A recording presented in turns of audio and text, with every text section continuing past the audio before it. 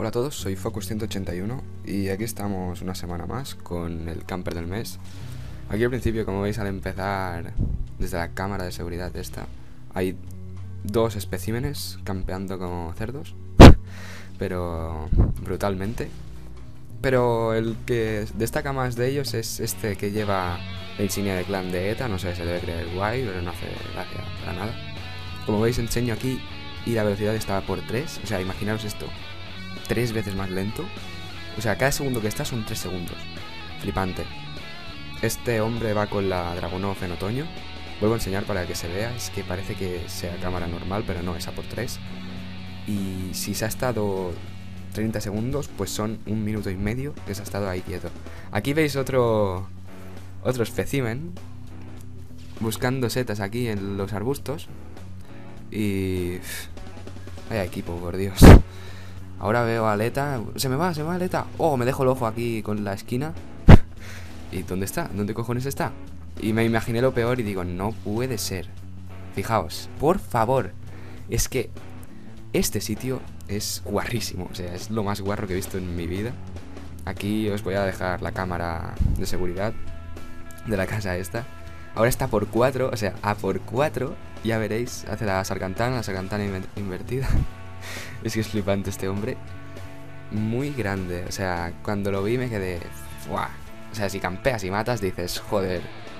Aún está bien por ti porque subes la proporción. Pero si campeas y no matas a ni Dios. O sea, no lo entiendo. No entiendo por qué campeas, no. ¿Qué gracia le encuentras? Porque no. No hace puta gracia, la verdad. No.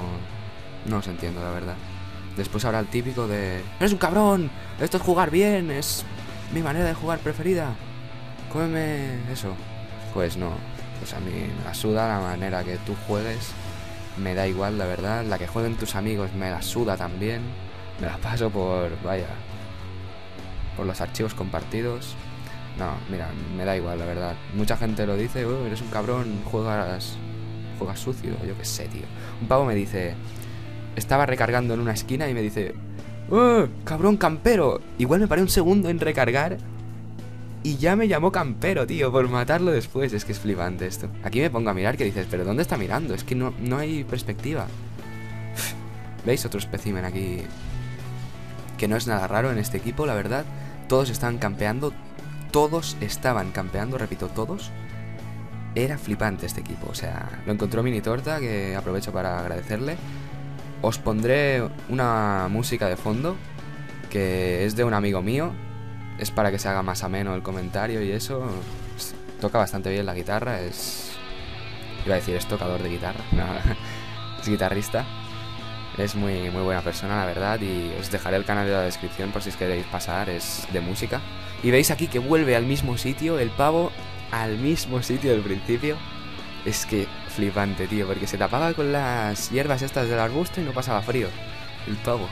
Si es listo y todo. Y bueno, espero que os haya gustado otra vez un camper del mes. Eh, seguiré trayendo camper del mes. Y bueno, dale a un like, Pedro, tío, dale al like ya. A ver si le das. y bueno, un saludo y hasta la próxima. Adiós.